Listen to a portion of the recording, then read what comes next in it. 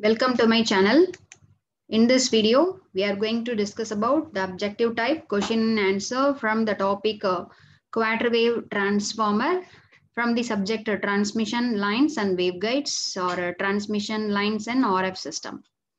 Uh, so in this, uh, that is uh, the quarter wave transformer, it plays a very important role in the impedance matching in transmission line. Okay, so in order to provide the impedance matching in transmission line, so we may use uh, this quarter wave uh, transformer, quarter wave line as a one thing, and uh, we may use uh, stub matching.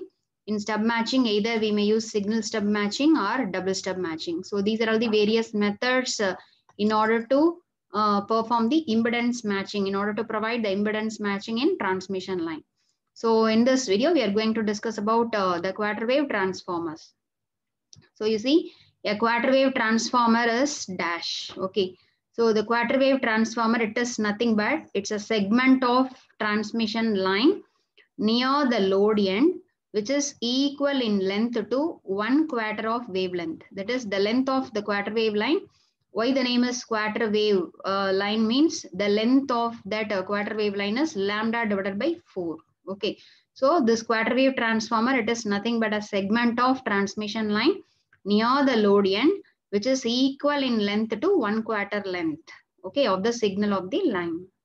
Uh, then the next one, the impedance inversion, okay, impedance inversion at radio frequencies may be applied with the help of an dash. The impedance inversion in at a radio frequency uh, can be applied using uh, half wave line, short circuited stub, quarter wave transformer, open circuited stub. So using quarter wave transformer, we may provide the impedance inversion of the radio frequencies. Then the next thing, a quarter wave transformer can be considered as a dash. Impedance inverter, impedance doubler, tripler, quadrupler. So the quarter wave transformer can be uh, uh, considered as a impedance inverter.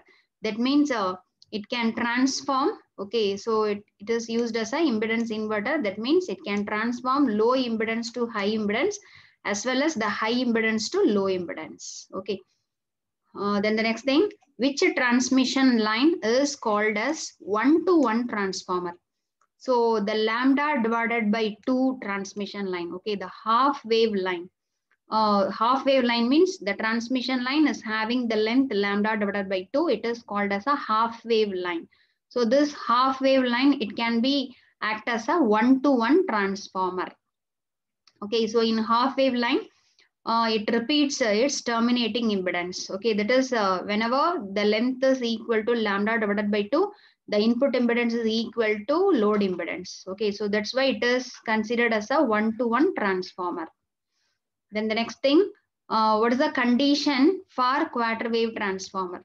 So what is the condition for the quarter wave transformer is the Z naught squared. Okay, that is the characteristics impedance uh, square. It is equal to the product of Z in and ZL. Okay, this is the condition for quarter wave transformer. So that means the characteristics impedance, the characteristics impedance is that not equal to square root of Z in into ZL. Z in is the input impedance. ZL is the load impedance. Okay. So the characteristics impedance is the geometric mean of input and load impedances. This is the required condition for quarter wave transformer. Then the next thing, find the characteristics impedance of a quarter wave, quarter wave with input and load impedances given by 50 and 25 respectively. So here what is the question means for quarter wave uh, line, the input impedance and load impedance is given. The input impedance is at in equal to 50 ohms and the load impedance is at L is equal to 25 ohm. So the question is that we have to find the characteristics impedance. Okay. So already you know the relation between the characteristics impedance, uh, input impedance and the load impedance of the quarter wave transformer. Okay. So this is a very important two more problem. So Z naught squared is equal to Z in into ZL. Okay, so you know the relation. So in this Z in is given, ZL is given. So you just uh, substitute the values. So Z naught squared is equal to 50 into 25. So 1250. from that, uh, the characteristics impedance is Z naught can be calculated by it's a square root of 1250. So the answer is 35.35 ohms. Okay. So the characteristics impedance of quarter wave line with input and the load impedance 50 and 25 is the answer is 35.35 ohms. So this is an important question. So in this uh, problem, so there may be here the load and input impedance is given. Characteristics impedance uh, we calculated. Okay, so instead of uh, load impedance, input impedance, there may be a chance to uh, in the problem uh, Z0 and ZL is given, we have to find out input impedance or is that Z0, Zin given, we may we may calculate the ZL. Okay, so there are three ways uh, of uh, the different problem is that. Okay, uh, the next question you see, find the load impedance in a quarter wave transformer with the characteristics impedance is 75 ohms and the input impedance is 200 ohms. So in this question, uh, we have to find out the load. Okay, is at L value we have to find out. So what are the two data given? Characteristics impedance is at not is given and one more thing input impedance is given. Okay, so you know the formula for quarter wave transformer is at not squared is equal to is at in into is at L. So from that we have to find out is at L. So if you are rearranging the ZL is equal to Z naught squared divided by Z in. Okay, so what is Z naught? 75. So 75 squared divided by Z in is 200. So if you are calculating, we will get the answer is 28.125 ohms. Okay. So this is the uh, load impedance of the particular quarter wave transformer. So this is the second type of question. And the third type you see, the characteristics impedance of quarter wave transformer with the load and input impedance is given by 30 and 75. Okay, so here the load impedance and uh, uh, input impedance is given. We have to find out the characteristics impedance. Okay, so as usual formula, is that not squared is equal to is that in into is that L. So you just substitute. Then if you are taking square root of this answer, we will get uh, is that not is equal to 47.43 ohms. Okay, so this is the answer. Uh, then the next question, the third type of problem. Uh, so question you see, find input impedance of quarter wave line with a characteristics impedance 50 and the load impedance is 20. Okay, so this is the third type of problem. Uh, here the question is, we have to find out is that in. Okay, so what are all the data given? Is that not given? Is that L given? So from that, uh, you just rearrange. What is the uh, is that in? The is that in can be written as is that not squared divided by is that L. So what's the value of is that not characteristics impedances is that not 50 ohms. So 50 squared divided by 20. So we will get the answer is 125 ohms. So 125 is the answer. Okay, then the next question, the group delay of the wave with the phase constant is 62.5 and the frequency 4.5 radians per second. So here uh, what is the question means we have to find out the group delay of the particular wave. That a wave with the phase constant beta okay phase constant means you know it's a beta. The beta value is 62.5 and the frequency 4.5 radians. So radians means uh, which frequency? This is not a f this is a omega. So beta value omega value is given. The question is group delay. Okay so already know the formula for group delay what is the formula for group delay? The group delay TD equal to, okay, TG. The group delay is equal to beta divided by omega. Okay, phase constant divided by frequency. So you just substitute 62.5 divided by 4.5. So we will get the answer as 13.88. Okay, so 13.88 is the answer. Uh, then the next question, the characteristic impedance of a transmission line is normally chosen to be dash. Okay, so generally, uh, uh, how that is uh, what is the characteristic impedance of a transmission line? So the characteristic impedance is normally chosen as either 50 or 75. Okay, so normally it is chosen as 50 ohms or 75 ohms. Uh, then the next thing, identify the material which are not present in the transmission line setup. Waveguides, cavity resonator, antenna, oscillator. So the oscillator is not used in the uh, transmission line setup. Okay, in transmission line setup, we may, we have to use the waveguides, cavity resonators for transmitting and receiving the signal. We have to use antenna. Okay, but uh, there is a uh, this oscillator is a uh, is not present in the transmission line setup. Okay. The next thing with reference to transmission line, the normalized load impedance is determined by dash. Okay. What is mean by normalized load impedance means uh, the load impedance value is at L divided by the characteristics impedance is at naught means it is said to be the normalized load impedance is at Ln. Okay. So the normalized load impedance means we have to divide the particular load impedance by the characteristics impedance of the particular transmission line. So dividing the load resistance by characteristics impedance of the line is called as normalized load impedance. Okay. Then the next one, a 50 ohm transmission line is terminated in a load impedance of 50 plus j 100 ohms. So the normalized load impedance is dash. Okay, so here you see uh, a 50 ohm transmission line. So what is this 50? This 50 is said to be characteristics impedance is at naught. So the Z naught value is 50 and the load impedance is at L. ZL equal to 50 plus J 100 ohms. So the question is normalized load impedance. So what is mean by normalized load impedance? This load impedance divided by Z naught. It is said to be the normalized load impedance. So 50 plus J100 divided by 50. So we will get 1 plus J2 ohms. Okay. This is the normalized load impedance. Then the next one, a quarter wave transformer is useful for matching any load impedance to transmission line. The statement is true or false. It's a false. A quarter wave transformer is useful for matching any load impedance to transmission line. This is the false statement. The quarter wave transformer, what is the uh, reason means?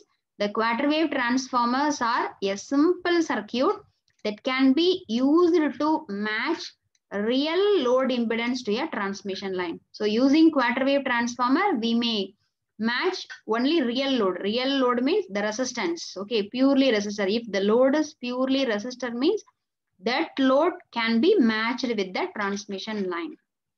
Okay, so the quarter wave transformer cannot match, cannot use it to match the complex load impedance to a transmission line. So that's why the statement is false. Okay, so quarter wave transformer you, you just remember the quarter wave transformer is used to match the real load impedance to a transmission line. That is, for example, RL. Okay, RL is matched with a transmission line. If we want to match the complex load impedance, complex load impedance means R plus J omega L. That complex load impedance cannot be matched with the transmission line using this quarter wave transformer. Uh, then the next thing, the major drawback of the quarter wave transformer that it cannot match complex load to a transmission line. Okay, it cannot be overcome. So, you know, the drawback of quarter wave transformer, you know, uh, the quarter wave transformer is, it cannot match the complex load to transmission line. Okay, it is yes, but it cannot be overcome. This is wrong. Okay, so we can overcome. So the major drawback of quarter wave transformer, it cannot match the complex load to a transmission line. Okay, but that problem can overcome by transforming the complex load impedance to real load impedance. So we may or transform uh, that complex load impedance to real load impedance first, then we may uh, use the impedance matching. Okay, so that's why this statement is also false.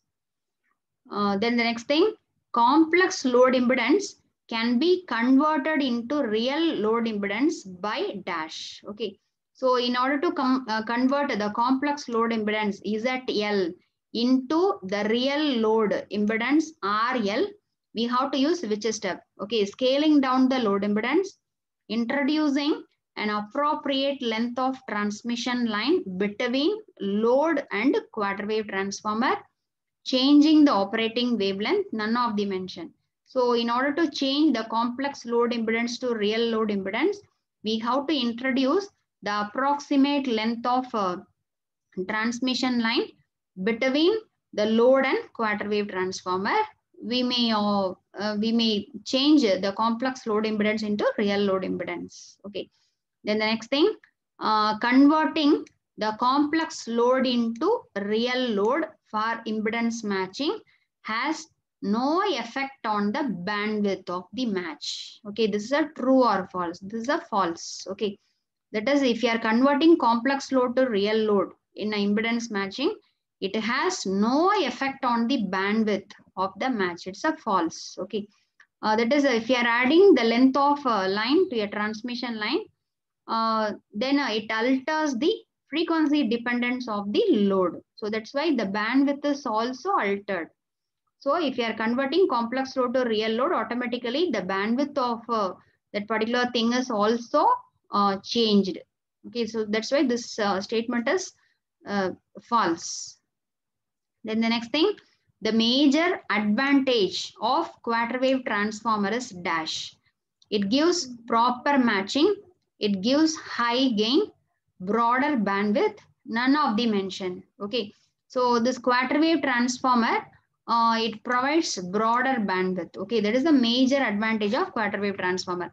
So the quarter wave transformer can be extended to multi-section design uh, in a, a, methodological manner to provide a broader bandwidth. Okay, so we may use instead of single transformer, we may use a multi-section transformer in order to provide the broader bandwidth. Then the next thing, if a narrow band impedance match is required, then more multi-section transformers must be used. This is a true or false. Okay. If narrow band impedance matching is required, uh, we have to use multi-section transformer. This is the false. Okay. If narrow band impedance matches required means we may use single section quarter wave transformer. Okay. But for wide band impedance matches required, we have to use multi-section. Okay.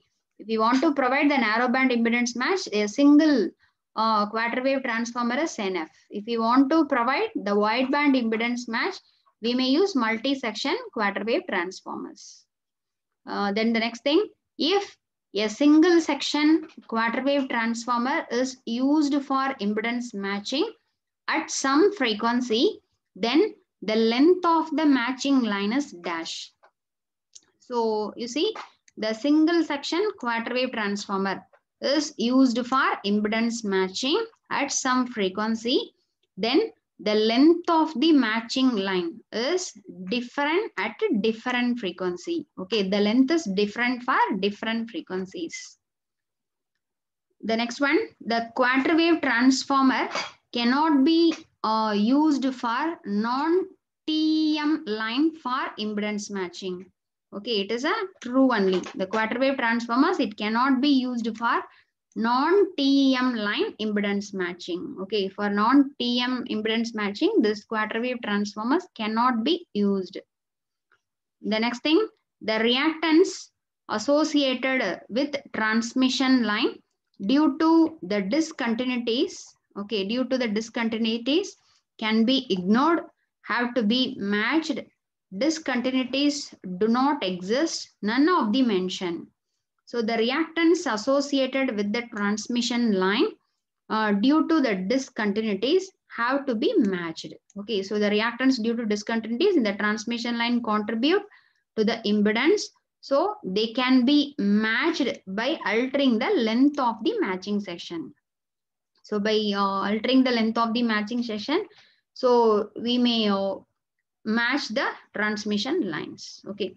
So these are all the some of the questions uh, from the quarter wave transformer from the unit 3. Okay, so the unit 3 is a impedance matching in high frequency lines. Okay, so in the next video, we are going to discuss about the single stub matching and double stub matching and what is the use of the Smith chart. Okay, so thanks for uh, watching this video and uh, please uh, subscribe my channel for more videos. And please share this video to your friends also. Okay so thank you. We will meet in the next video